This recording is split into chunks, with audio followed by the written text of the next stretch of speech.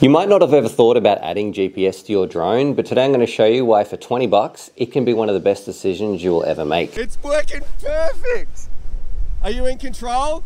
Disarm. Oh, I did it. Did. G'day, Stu from UAV Futures here, and this is something I've never dabbled into now. 10 years in drones, and I've never thought about putting a GPS on my drone until I saw Stickman Steve show me exactly how easy it is, and now I kind of feel if you're about to drop some money on a drone or take it on a risky mission, there is no reason why you shouldn't put one of these in. Today we're going to go through that process. We're going to get out to the field. You're going to see our first ever flight and see does it come back? Is it going to get lost? How it's going to go through? All that sort of stuff. We're to have a look at the setup and catch up with Stickman Steve. He's going to take us exactly how he went through his setup. So when you're flying around, how does your GPS work? How do you set it up? And the best of all parts, we're going to show you the results. Now, what we are using as a bit of an overview in this, this is our sort of long range testing cruising rig. We've got some videos coming that I can't wait to show you about that. But you can see right here, this is uh, one of the Foxeer ones. I think it's like the MQ or the MO120, so a really small little unit right here and it's doing everything we need it to do. That's going to be down below, but what I'm going to do with a bit of magic of editing,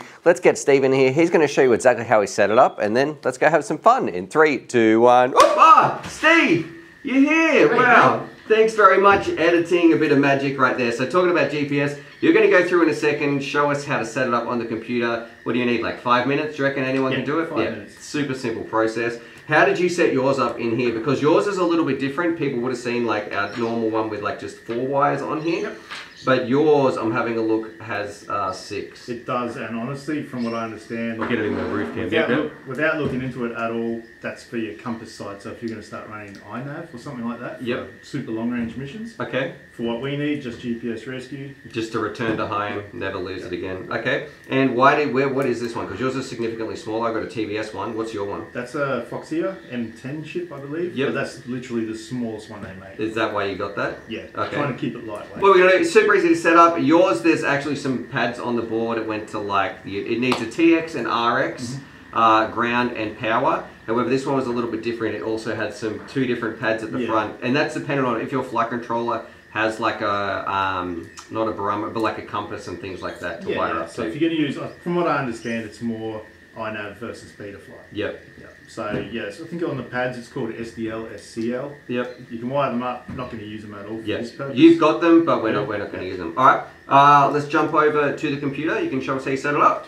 So, All right, we're going to go through. So first things first, I can see we're over on the ports tab. Yep, Ports tab. So whichever UART you have, uh, the flight controller I used, and many of them have a dedicated UART with a certain voltage pad that will power the GPS straight from USB. Mm-hmm. So that's even easier in the field. You can let it warm up off USB power to your phone or whatever. Yep. So obviously corresponding UART, enable GPS on sensor input. Yes, and why is your? I got to say, your is that the baud rate? That's why? the baud rate. Okay, yeah. why have you changed yours? Why is that not on auto? So if you leave it on auto, it may or may not work. If it does, it may not work to its its best potential. Mhm. So go to the manufacturer's specs on their webpage for the, particular device you wired in.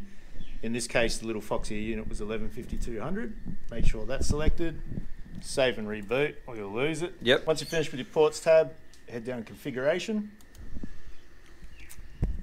Scroll down to this section here, enable GPS. Mm-hmm.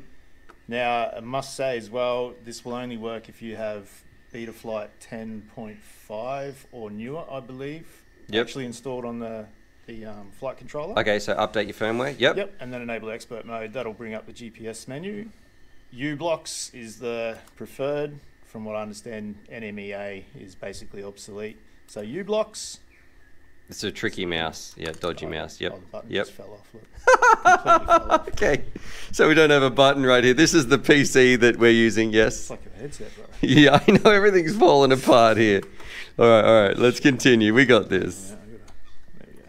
That's right. Okay, so once you've got GPS turned on, Mhm. protocol selected, auto baud should be turned off default as That's because we set it in the ports tab, That's yep. right. So Okay. if it's off, go back. I mean, if it's on, sorry, turn it off. Go back to your ports tab. Make sure you select the corresponding baud rate. Yep. Auto config's fine. Galileo supplements the UBLOX protocol. Okay. So if it's going Like- to use it, great. If not, whatever. Doesn't hurt to have it. Yep. This is the best one that I found to leave on. Mm-hmm. So set home point once. If you fly, as soon as you arm, it'll set that as your home point. If you fly away, land, or have a crash and have to disarm, rearm, if you've got set home point once turned on, it'll always use your first point you took off, or first point you armed, with that battery pack hooked up. Yep.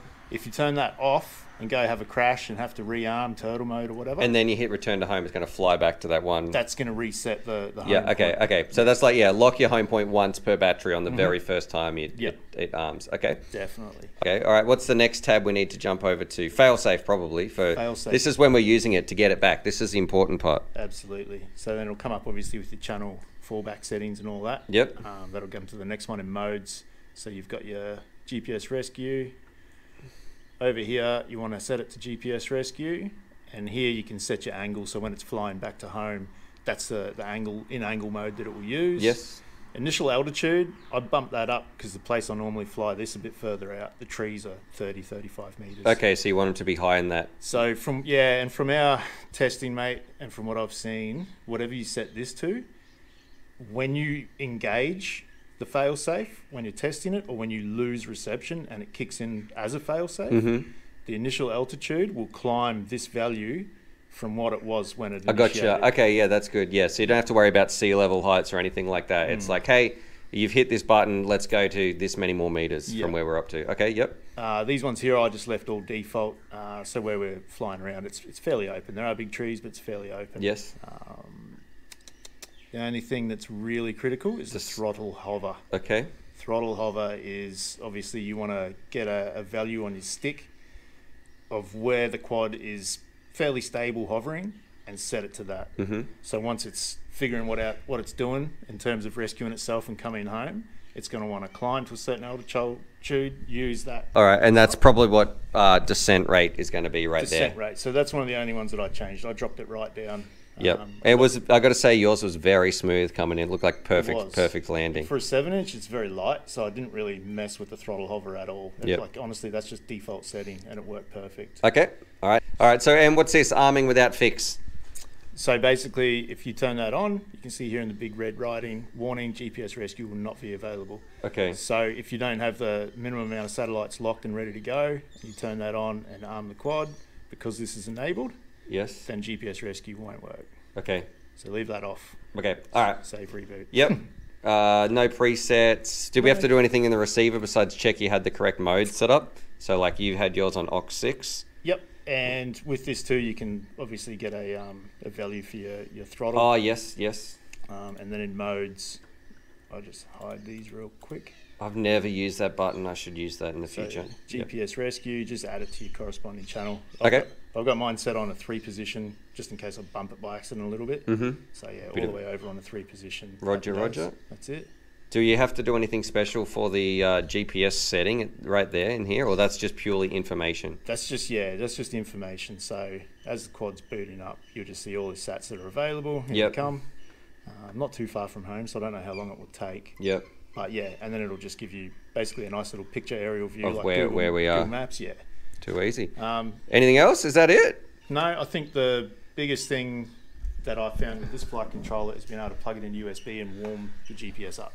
Okay. So you get a hot start when you're out in the field. Yeah, I did Yeah. see that we plugged it in on your phone, and then um, Yep. it was like getting a lock while it Yep. was while we are waiting, so we didn't have the VTX cooking or anything yeah, like that. so if you don't have that as part of the UART for your, your GPS on the quad, perhaps look at doing a VTX power switch Mhm. or something like that. Yep. But then in the back of my mind, I'll always be like, oh, what if I hit that by accident and I lose video? Yes, But then you've true. got your fail safe with the GPS. And it'll come back. Too easy. All right, should we go test it out? Yeah, please. Let's do it. Going on. It was telling me I'm already at 50 meters altitude. Okay, yeah, well, we might maybe it's above sea level.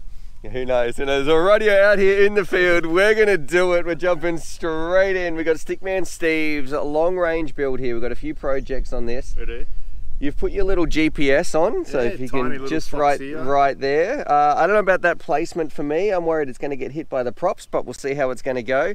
And we're about to test the return to home function on the GPS. So how hard was it to set up? Uh, pretty easy, pretty easy to set up. I Okay. hope I've got everything right. Yep, we, we've just got it locked in. We checked on the phone. Yeah, We've got it's got 18 GPS locks. 18 satellites, which are good. We're gonna send it and you're going to hit the emergency button. So like if we've lost it or something. And, Yeah. and what's it supposed to do when you hit that button? Uh, climb to a fixed altitude that I've preset. yep. It's got a maximum angle, I think 45 degrees. I left that default for, Okay. for moving forward. Yes. The only thing I haven't done is the hover throttle, which apparently is pretty critical. Uh, But, okay. Okay. So then once it's what, it's going to fly back here and then what? and then hopefully land. Okay. now it's not going to be able to see any of these trees or anything like that as No, well. So, take it out there. so you're going to oh you're going to go th- go out that way and then what? Launch it. We got some a bit of a distance to cover. yep. And there's a lot of water around at the moment. Yeah, there is a lot of mud and a lot of water. So we'll see how accurately it, Yeah, it I'm goes. so nervous. Yeah, I'm actually a little bit nervous too. This is why we don't have digital in there though, right? Yeah, 'Cause I you don't remember last time we tried it was with that Y6. Yeah, people haven't seen that video, but we did try GPS thank you, dis- Yep. disappear, but oh, that's fine. And it just started to take off. But Yeah. um, that wasn't set up by us though. That, was wasn't not. set up by the. Let me put it out here. The master coder, Stickman Steve. All right, let's do it and hopefully get this drone back. Let me know in the comments if you think we're going to get it back. I'm feeling 50-50. Okay. All right, Steve. I'm going to watch from this point of view. Do you want to face me? Um, not really. Okay, you're good. You're good there. The drone. Okay, I can see it. Uh, showing good. Okay, I am watching it. Tell me when you get. You're above trees now. Yeah, just getting out. Yeah, Nice probably like there close. somewhere is where I would hit it. Okay, ready? Yeah. It's going up. Yep, I've got no throttle. Yep. It's it's. I'm watching it go. It's. uh It looks like it's moving. It's going above these trees. Tell me if I need to flick it off. eh? Well, I kind of lost it a little bit. Oh yeah, it looks like it's coming down. Look at this, it's looking good. It's working perfect. Are you in control? Disarm. Oh, it did it. It did it itself. Done it! How close? Oh, it's like five meters. Bro, that was That's sick. perfect. That's awesome. Oh, let's go do that again. Let's I'm go test that. I'm gonna go to the end now. Did that work way better than you expected? Yep, instant. I sort of lost it when it went above this tree because I was ex- I should have reframed myself here. No, it's a, But uh, that was perfect. Like it landed. Let's see how close we can get it between the takeoff. We'll take off from somewhere and Yep. see how close it lands. Let's go do that. All right, we're in that little sandy patch. Um, well, you're standing sort of where it landed. I would, I would at least be five meters once back. I flick the switch this time, I got a bit more faith in it. I'm oh, you can take the goggles off. Yep. Yeah. Okay. And we'll just see how we go. All right. All right. All right, I'm gonna go for a bit of a send. Okay. Oh, sorry. All right. Go for it, brother. Alrighty. Let's see how we go here. See ya. Disappearing. It's going out out there. Meters. Yeah. Flick the switch. Okay, take your goggles off. It is. Can you see it looks like a bird going up? I'm pointing at it up over that way. No idea. It's sort of heading up towards the sun now.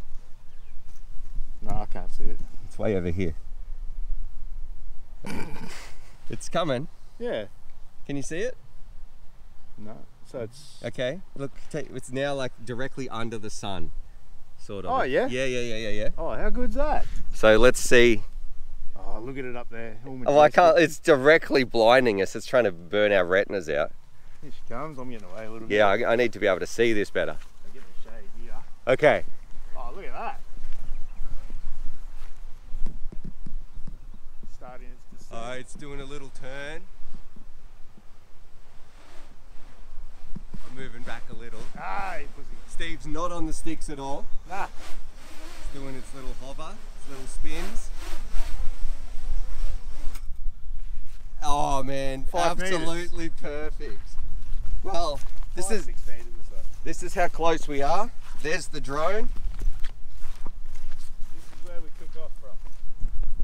That's pretty good. And that's where we took off Don't from. know if I'd do it on the boat while we're fishing though, Stu. Now, if, if we were setting that up at home in terms of a fail safe, Yep. can you have it so, okay, you've lost your RF link, just fly myself back here? As soon as it loses RF, that's it. That's the whole point. Okay. Or if you flick the switch. You Yep, know, if, if yep. you lose video and you're like, oh shit, but there's nothing above you, Yep. just bang, flick the switch and it'll do that. Man, I kind of like that for That's doing some awesome. long range missions. And that was so easy to set up and uh, have a look. All right. I'm stoked. Hey, okay. That's awesome. Uh, easy out of 10? Who could Mate, do that's this? 10 out of anyone. Yeah. And where you're, I'm going to say, you're not like the most Betaflight backpack developer, No all that way. stuff. You just want to use it and get flying, and so super easy process. Yeah, especially for long range too. Yeah. As you know, I've done zero long range. Yep. Really keen to get into it, do some filming in the hills while I'm camping and whatnot. And especially now that we can just fly itself Yep. back. Like if you lose video, if you lose any link, this as long as it's still got power, will try to make its way home. Yep. Cool. All right. awesome. Thank you. So that worked good. really well. Yep. I'm surprised. I've actually got a fair bit more faith in it. Yeah, well, I mean, like I thought it would do something, as in positive. But I thought not as quick as Not that, right? not Like as bang, yep, n- this is not as like doing. it worked first time out of the box with like no mucking around, no fine tuning. It's like, oh yeah, Yeah. I can return to home. So with all that said and done, I never knew how easy it was. I mean, if Stickman Steve can set it up, but definitely you can set it up at home as well. And if you are the sort of person who has an expensive craft, maybe it's over a couple of hundred dollars, maybe not just on the cheapest drones, but if you've got an expensive craft, you want to get it back, you're doing a risky mission, or you just want to have that extra fail-safe option, putting a little GPS on here with how easy it is and cheap is just a 10 out of 10 sort of no-brainer. So look, hopefully you guys enjoyed that. Big shout out to Stickman Steve. And also you can see him in this video. All right, so I can see the line down here. It's not going to show up on camera, but uh, did you keep the angle constant or anything like that? Yeah, pretty much just blue straightforward. Just